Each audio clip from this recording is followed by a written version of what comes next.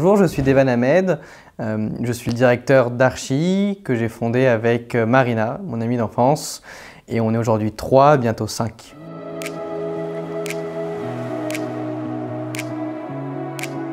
Archie est la première marque de vinaigre de cidre française qui veut révolutionner le quotidien de plus de 50% de la population. Notre société est basée en Normandie. Notre lieu de production et transformation est en Normandie, entre l'Orne et l'Eure. C'est un vrai projet de terroir et territorial qui veut mettre en avant un très vieux savoir-faire normand.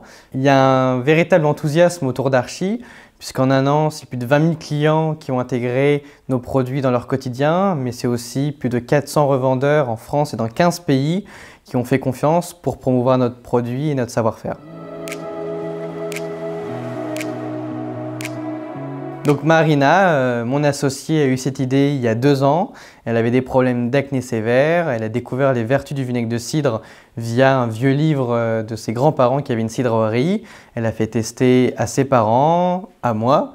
Ça a très bien marché. On s'est rendu compte qu'il n'y avait pas d'offres sur le marché. Donc on s'est lancé avec Archie euh, juste après.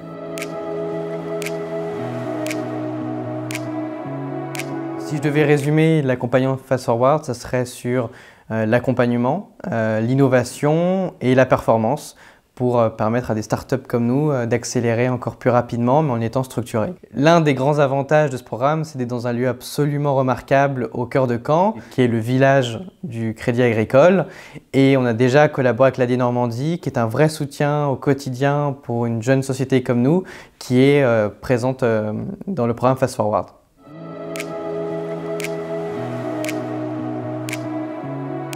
Donc notre objectif, c'est déjà de pouvoir lancer nos deux futures gammes de produits qui sont les plus grandes innovations produits autour du vinaigre de cidre en France et de pouvoir se développer encore plus loin en France mais également à l'international.